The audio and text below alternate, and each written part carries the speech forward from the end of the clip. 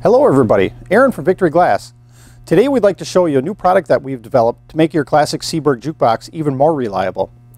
This is our new electronic record cutoff trip switch. We have two models available, one for pin bank models B, C, G, W, R, and J, and one for Tormat models V200 through Electra.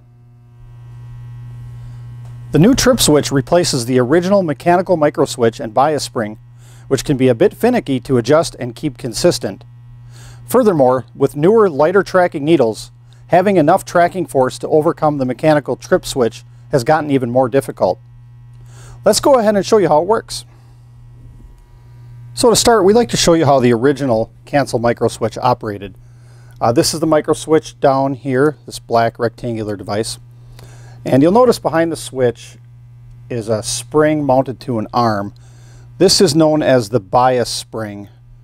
And the bias spring's purpose is to assist uh, the micro switch uh, with closing all of the way uh, upon completion of the record. So what was going on is uh, there wasn't enough pull from the grooves of the record to overcome the, uh, the plunger on the micro switch. So Seeburg added this little bias spring here to assist with that. And it's kind of a balancing act because um, as soon as the record has finished playing and the uh, tone arm resets back, this bracket, uh, the purpose of this little bracket that's adjustable is to push the plunger back and kind of reset the micro switch. So it has to kind of overcome the bias spring in the opposite direction. So you can see it's kind of a balancing act. So we'll go ahead and punch a selection here and show you how this how this worked originally.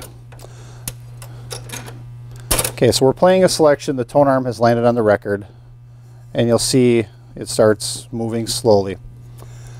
So we'll go ahead and jump ahead, push the tone arm to the end of the record here. So you'll see that it's getting closer to the end groove.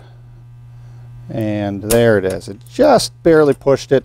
And you'll see on the way back, how this bracket helped push this arm back to help reset the bias spring. So it worked. It's a little bit finicky sometimes and it can be inconsistent as the micro switches fail or wear. Um, the contact points can change and sometimes getting this balance point is right. Um, so that can be a little bit of a challenge and, and it can make it kind of uh, inconsistent sometimes. So now let's go ahead and go through the process to install the new electronics trip switch. We'll start by simply clipping the wires off of the old mechanical micro switch. Put those aside. And then we'll begin by removing the reset arm from the... Next, we'll remove the bias spring bracket. We'll start by loosening the adjustment screw, lifting the arm up out of the way so we can get at both of the screws, and remove the two screws holding the bias spring bracket. And the micro switch comes along with it. Next, we can remove the bias spring pivot bracket.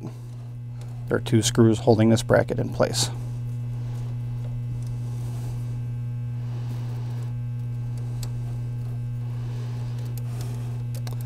And this can be removed as well. Next, we'll strip about a quarter inch of wire on both of the wires that went to the trip switch. Now we'll need to note which one is tied to ground and which one is tied to the trip solenoid. Now one thing I should mention that a common mistake that we've seen in a lot of jukeboxes is previous repairmen have tied the ground wire to the audio ground, which is incorrect um, right here in the shield of the audio ground. That is not correct. So if your machine makes a popping sound when uh, rejecting the records, take a look at that while you're in there because there's a chance that this wire, somebody may have incorrectly tied it onto the ground shield of the audio instead of the lug on the mechanism. So something to check as you're working on this. Next we'll connect the wires to the new electronic trip switch. The ground wire goes onto the ground terminal. And the trip wire goes onto the trip terminal.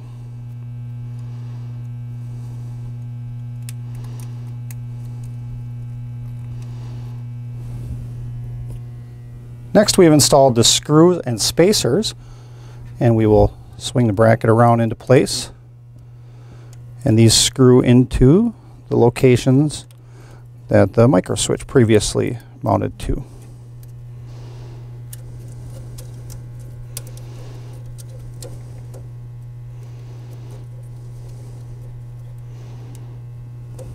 Next we have just one wire to connect on, this, on the terminal block.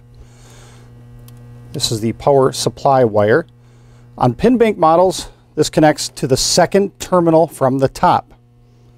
On Tormat models, it connects to the second terminal from the bottom.